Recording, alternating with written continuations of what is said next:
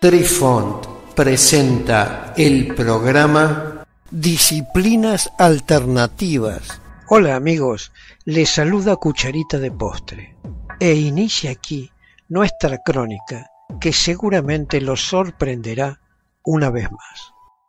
Apreciamos sentir tu presencia. Comunícate con nosotros. Hazlo, Hazlo. vía Twitter en arroba trifón guion bajo media. Hola, soy Besitos de Sol. En el programa de hoy escucharemos... ¿Y después qué? La muerte y los rebrotados, los hechiceros útiles. Son el escalón más alto en la jerarquía de fantasmas, demonios, diablos, energías negativas, etc. Su fuerza espiritual relativa está en el rango que va desde las 100.000 unidades hasta el infinito. Esto se compara con la fuerza relativa de un fantasma común que es uno. Son extremadamente poderosos. El poder del hechicero sutil más elevado sería casi comparable al de la forma no manifiesta de Dios. Siempre están trabajando hacia su objetivo de establecer su supremacía, es decir, un orden de injusticia en todas las regiones sutiles, así como en la región de la Tierra. Para lograr esto, participan en una batalla sutil con los seres más evolucionados de todas las regiones positivas, incluidos Satialok. Trabajan por medio de otros tipos de fantasmas a los que utilizan como esclavos.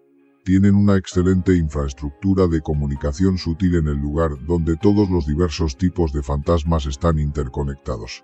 En el momento en que un fantasma necesita energía negra espiritual, la siguiente orden de fantasmas la proporciona automáticamente y así sucesivamente. Es solo hacia el final, si el fantasma esclavo más alto está en el extremo perdedor, que un hechicero sutil entraría en escena, y solo en la capacidad de proporcionar más energía negra. Como los hechiceros sutiles son una clase de élite entre los fantasmas, no se molestan en afectar a los seres humanos promedio en la región de la Tierra.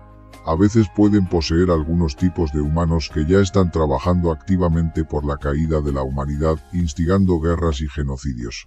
También se dirigen a los santos y buscadores de Dios que se dedican activamente a lograr la era de reavivar la espiritualidad en la humanidad.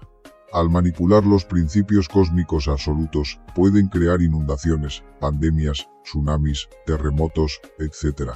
Así, un porcentaje muy insignificante de la sociedad es afectado o poseído directamente por brujos útiles.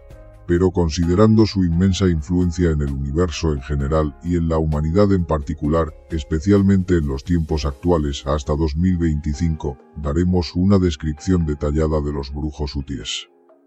Tipos de fantasmas.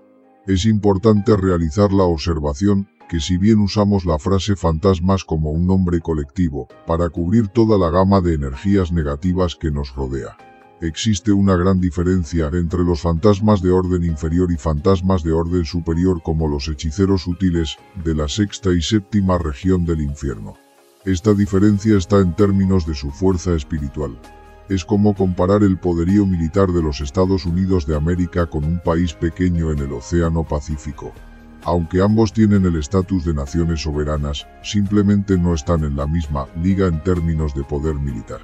Los fantasmas utilizan principalmente su fuerza espiritual obtenida a través de su tipo de práctica espiritual para dañar a la humanidad.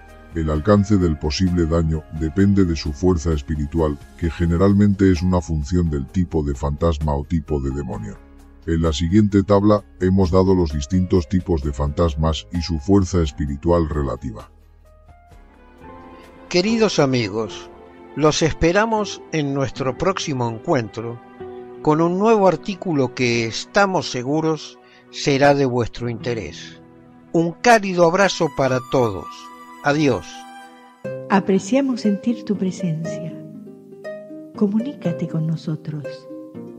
Hazlo, Hazlo. vía Twitter en arroba trifón-media. Este episodio lo encuentras en Anchor, Spotify y en tus plataformas favoritas. Hasta siempre amigos. Besitos de sol y cucharita de postre les dicen gracias por pensar.